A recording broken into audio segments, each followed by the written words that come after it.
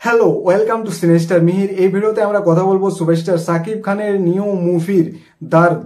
এর টিজার চলে এসছে যে মুভিটি পরিচালনা করছেন অনন্ত মামুন এবং এই মুভিতে সাকিবের বিপরীতে আমরা সোনাল চৌহানকে দেখতে পেতে চলেছি। তো টিজারটি এক কথায় ঠিকঠাক একটা টিজার হয়েছে। তবে সাকিব খান দুর্দান্ত। হ্যাঁ সাকিব খান নিজের জায়গায় দুর্দান্ত।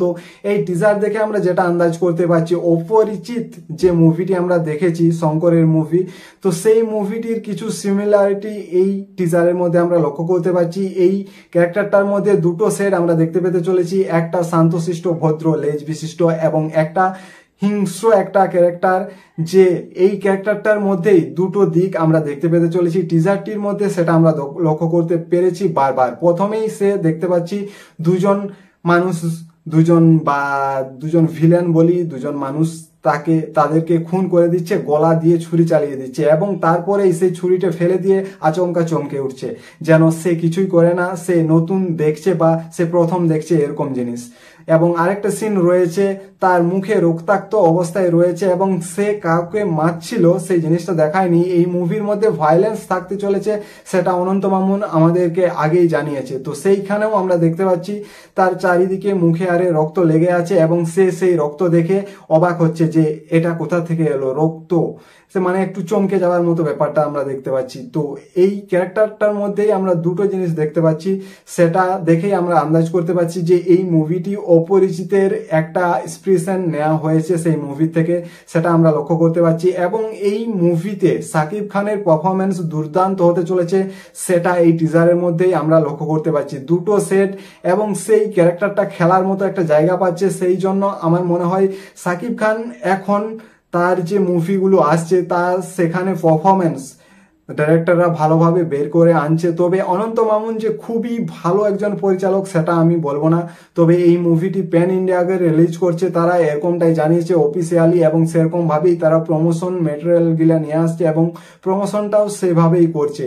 তবে এটা যদি আমি তুফানের সাথে কম্পেয়ার করি, তাহলে কিন্তু তুফান অনেকটাই এগিয়ে রয়েছে এই টিজারটি দেখে যেটা মনে হচ্ছে। এই মুভি থেকে তুফান অনেকটাই এগিয়ে রয়েছে। তবে একটা জিনিস এই টিজারটা দেখে প্রমাণ হয়ে গেল যে সবাই রায়হান রাফি হতে পারে না বা সব মুভিই কিন্তু তুফান হতে পারে না। সেটা এই টিজার দেখে আমরা বুঝতে পারছি। এই টিজারে সাকিব খানকেই মেনলি ফোকাস করা হয়েছে। তো এই মুভিতে ক্যাস্টিং খুবই ভালো রয়েছে। ভালো ভালো অভিনেতা, অভিনেত্রীদের নেওয়া হয়েছে। আমাদের এখান থেকে সোনাল চৌহান তো রয়েছে, পায়েল সরকার রয়েছে এবং বিশ্বনাথ বাবুকেও দেখলাম। তো কাস্টিং ভালো এবং রাহুল দেব রয়েছে এই মুভিতে।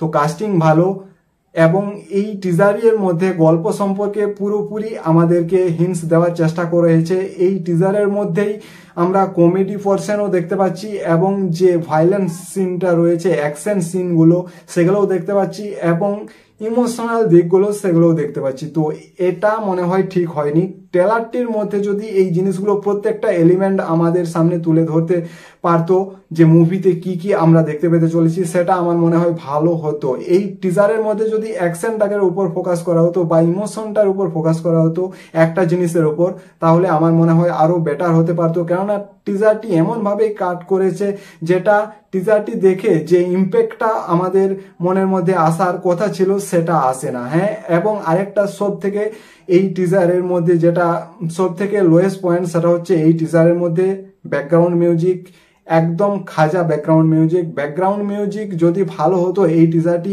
আরও শতগুণ বেটার হতে পারতো। ব্যাকগ্রাউন্ড মিউজিকটা একদম থার্ড ক্লাস রয়েছে, যে মিউজিকগুলো আমরা বরাবরই শুনে এসছি এবং আমার মনে হয় কোথাও থেকে ইউটিউব টিউটিউব থেকে যে কোনো ওয়েবসাইট থেকে তুলে সেখানে সেগুলো ব্যবহার করা হয়েছে, সেরকমটাই মনে হচ্ছে। তো ব্যাকগ্রাউন্ড মিউজিকটা এই টিজারের মধ্যে সব থেকে লোয়েস্ট পয়েন্ট আমার মনে হয়েছে। তবে সাকিব খান তার পারফরমেন্স যে খুব ভালো হতে চলেছে এই মুভিতে সেটা এই টিজারের মধ্যে প্রমাণ করে দিয়েছে এবং সাকিব খান এখন যে মুভিগুলি করছে, সত্যি তার যে অভিনেতা সত্তাটা, সেটা বার করে আনছে সে। দেখা যাক এই মুভিটি কীরকম হয়। তুফান কিন্তু রমরমে চলছে বাংলাদেশে।